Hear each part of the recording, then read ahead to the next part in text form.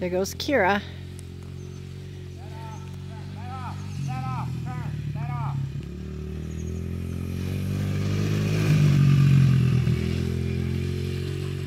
She's doing it. She was nervous, but she's got it.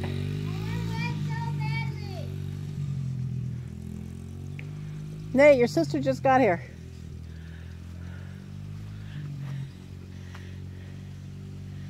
Go, Kira.